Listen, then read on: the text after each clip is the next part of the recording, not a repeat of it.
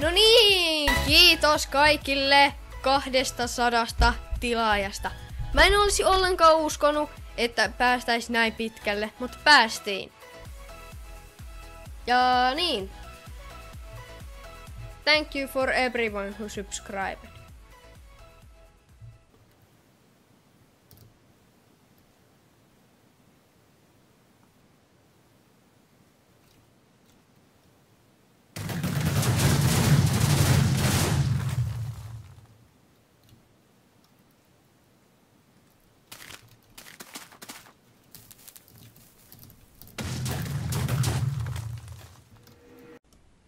Ainakin vielä täällä.